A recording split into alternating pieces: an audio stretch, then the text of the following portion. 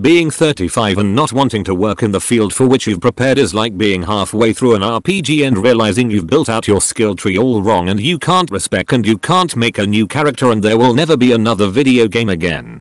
43 here and I haven't even started the main quest. I keep getting distracted by side quests and farming. I'm actually still at the select your class screen. Real life is like 95 diplomacy checks. And there will never be another video game well fuck. GG lads. I trained up my maid class so much, I'm sure I'll clean up in the end game.